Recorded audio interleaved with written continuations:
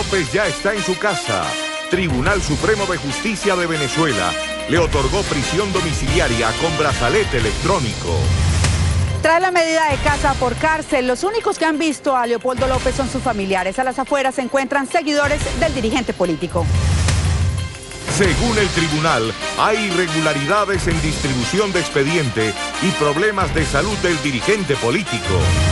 Salió la voz de mi hijo Leopoldo, hola papá, y, bueno, esto sí me confundió todo. Y me dice, Leopoldo, eh, sí estoy aquí en mi casa. Conmovedor diálogo entre Leopoldo y su papá.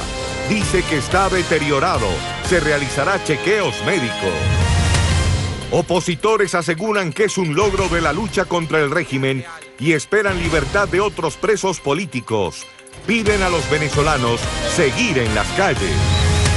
Leopoldo López estuvo tres años y cinco meses en la cárcel de Ramo Verde. Su esposa Lilian Tintori libró batalla internacional para conseguir su libertad. Director para las Américas de Human Rights Watch asegura que chavismo busca ganar tiempo en medio de presión en las calles, que ya completa tres meses.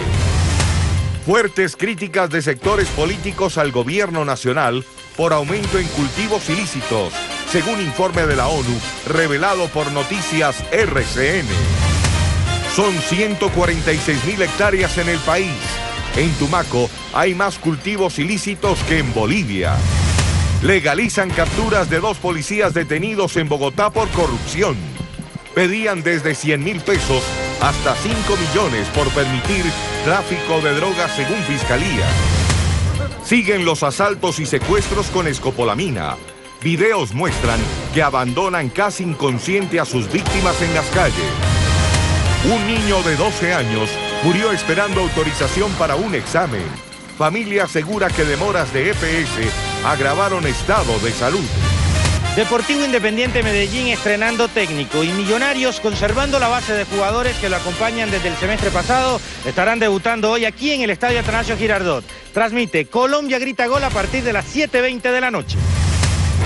Con un empate entre Patriotas y Atlético Huila comenzó la Liga Águila. Dos jugadores vieron la roja en la ciudad de Tunja. El francés Lilian Calmesian se llevó hoy todos los honores en la primera de dos etapas de montaña de este fin de semana en el Tour de France. Ganó la octava jornada con meta en la estación invernal de Rose. Fenomenal trabajo de Sergio Luis respaldando a su gran líder, Chris From. Noticias RCN presente en el Tour de France.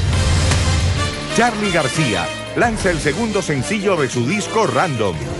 Lluvia hace parte de un álbum que ya tiene el Papa Francisco en sus manos.